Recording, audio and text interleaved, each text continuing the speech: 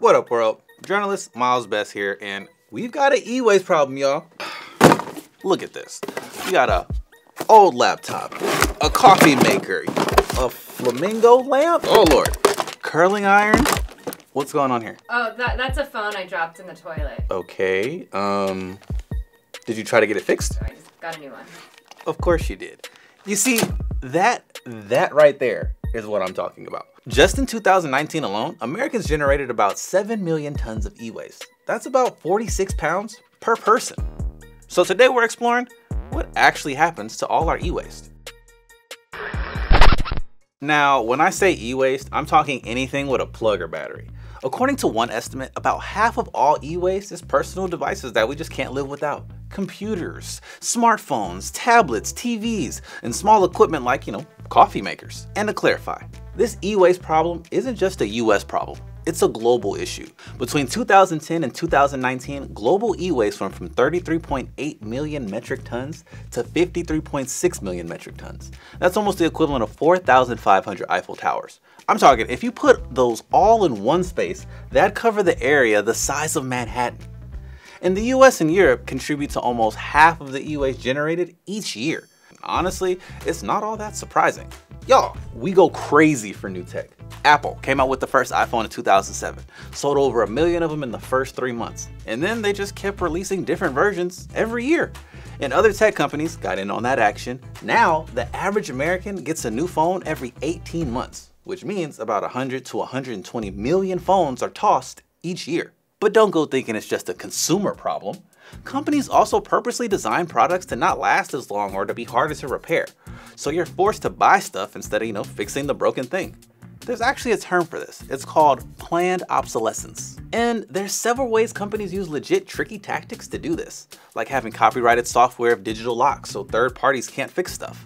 Like Apple was infamous for doing this back in 2016 when it just straight up bricked people's phones if it had detected that it was repaired by an unauthorized repair tech.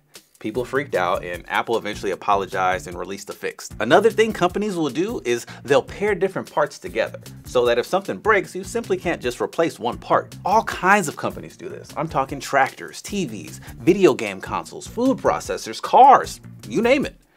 And then companies will also straight up refuse to sell replacement parts or operating manuals to fix things. Or they'll just glue parts together instead of using screws, which makes it harder to take apart and repair. And to make matters worse, a lot of this stuff is toxic. I'm talking things like lead and mercury in circuit boards and brominated flame retardants in the plastics. So where does this all go? Well, if it's not being stored in a closet or tossed in a landfill, it can actually end up being shipped around the world. Check out this map that shows how rich countries end up dumping e-waste at these sites in developing countries like this one in Ghana. See that smoke? Yeah, that's real toxic. We would see people burning the stuff breathing in the toxic fumes, using really caustic acids to strip out precious metals and discard the rest by just dumping it into the rivers. That's Jim Puckett. His organization monitors the global trade of waste, including e-waste. For one place in, in Thailand, we call it the dioxin factory because when you burn computer plastics, it's got all this bromine in it and chlorine in it. You burn that, you make dioxin, which is one of the most toxic substances. And this is what this place did it basically just burned circuit boards day in and day out. And it was in an agricultural region. So all the fallout would go into the dairy farms and the other agricultural crops. And people would be then eating that, putting in these toxins into the food chain. And chlorinated dioxins are as scary as they sound. They can cause reproductive and developmental problems, damage the immune system, interfere with hormones, and also cause cancer. Now, this isn't supposed to happen. Back in 1989, the UN created an international treaty which regulates the trade of toxic waste. There are 190 parties to it, but the US never actually ratified it. And despite its existence, as you can see, this trade is still happening. And Jim's been working to stop it for a long time. At first, he was doing it like the old school stakeout way, where he'd watch e-waste being loaded into cargo containers on ships, and then he'd track those containers online through the shipping companies. We would alert the authorities in the receiving country, hey, we got some electronic waste coming towards you. It's illegal for your country to import that. You might want to take this off the ship and search it. And then about 15 years ago, they started using GPS trackers. We would put it inside old computers, inside monitors, inside printers embed those trackers in this thing, make the thing totally dysfunctional so nobody could reuse it. And then they bring it to an e waste recycler and track where it goes. We were able to show that so much of this stuff, more than 20%, was still going offshore.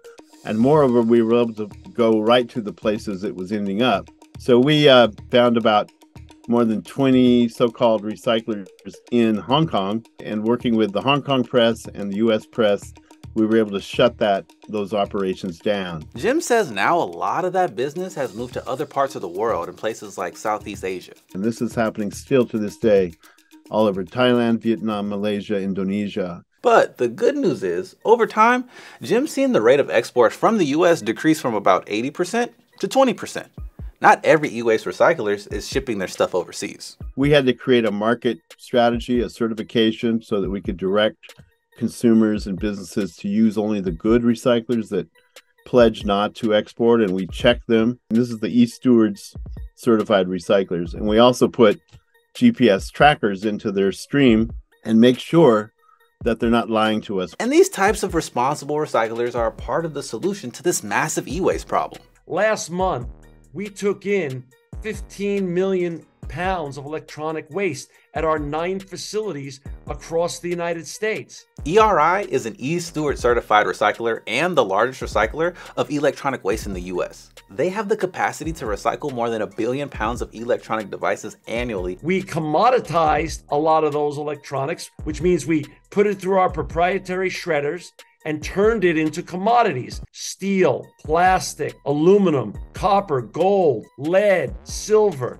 And all those metals and the plastics were sold to smelters to go back into new products around the world. A circular economy is pretty much the opposite of designing things for the dump.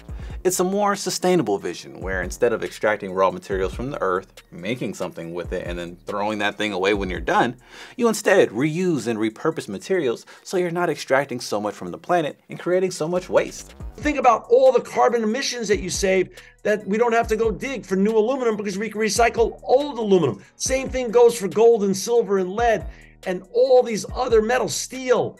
We can save so much energy which saves so much carbon emissions when we recycle these materials. When e-waste is just tossed or not handled properly, we're throwing out a lot of valuable stuff. According to a World Economic Forum report, the material value alone is worth $62.5 billion, three times more than the annual output of the world's silver mines, and more than the GDP of most countries. There's a hundred times more gold in a ton of mobile phones than in a ton of gold ore. That's a lot of gold. So making sure your stuff ends up at an e-Stewards recycler is one thing you can do, but solving this global e-waste problem is gonna require multiple solutions.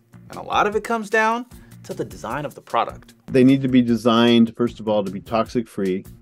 They need to be designed in a way that longevity is expected. And one way to do that is to have, rather than owning your computer, to lease it. And if you lease it from the company that makes it, they have an incentive to have it last a really long time.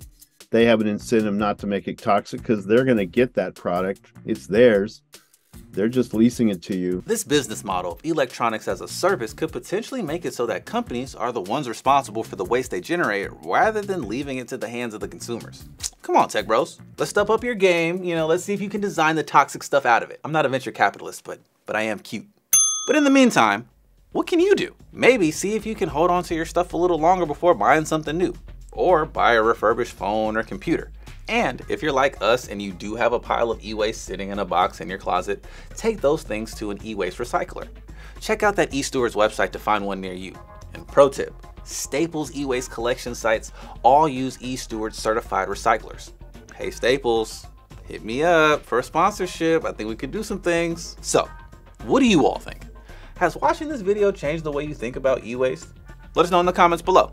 And for students in school, Jim says you should find out what they do with their old Chromebooks and tech. It's really worthwhile for people from the grassroots to say, I want to know where our school computers end up. Whoever's going to give them the best deal on recycling will often be who the schools use, and those are often the worst. So they are cutting corners to make the bids they make and uh, very often those corners that get cut are dumping things in, in developing countries. If you want to use some some trackers, contact us because we might be able to to spare some of our trackers and you can put GPS trackers into things and uh, put them into your school recycle program and see what happens. And speaking of things good for the environment, all this month, PBS is celebrating Earth Month. Be sure to check out Two Cents' episode on fast fashion and how our obsession with new clothing has both a financial and environmental impact. Check out the link in the description for it and for the rest of PBS's Earth Month playlist. As always, I'm your host, Myles Bess. Peace out.